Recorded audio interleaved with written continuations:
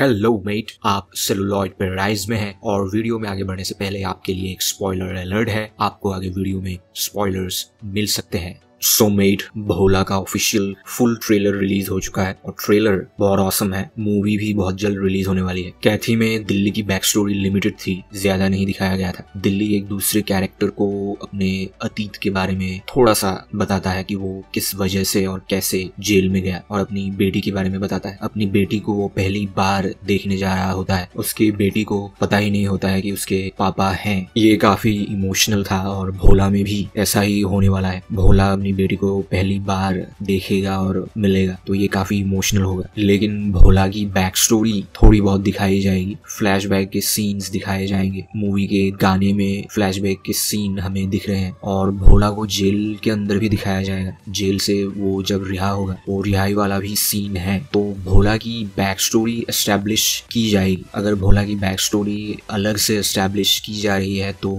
आगे यूनिवर्स बनने के चांस हैं। कैथी में दिल्ली दिल्ली के हाथों में कोई अलग से हथियार नहीं था, लेकिन भोला के हाथों में त्रिशूल है। ये त्रिशूल भोला के कैरेक्टरिस्टिक वैल्यूज़ को बढ़ा रही है और साथ में एक्शन भी और ज़्यादा एग्रेसिव हो जाता है। ऑफिशियल पोस्टर में भी त्रिशूल है और ट्रेलर्स के शुरुआती सीन्स में हम त्रिशूल नहीं देख रहे हैं, लेकिन आखिर के सीन्स में और ज़्यादा से ज़्यादा एक्शन में त्रिशूल का इस्तेमाल भोला कर रहा है, जो काफ़ी अमेजिंग लग रहा है। क्रिमिनल्स काफ़ी हाईटेक हथियार और व्हीकल्स यूज़ कर रहे हैं बाइक्स कार लेकिन भोला त्रिशूल से ही उन्हें ढूल चटा रहा है, जो थिएटर हॉल में देखना काफ़ी अमेजिंग होगा। क्रिमिनल्स काफ़ी हाईटेक भी हैं और ज़्यादा खतरनाक भी है, खूंखार भी है। वो बिल्कुल ही निर्दयी है, क्योंकि एक महिला आईपीएस पुलिस ऑफिसर को इतने सारे लोग मिलकर बालों को पकड़ के खींच कर उन्हें घसीट कर ले जा रहे हैं। इस सीन से पता चलता है कि वो कितने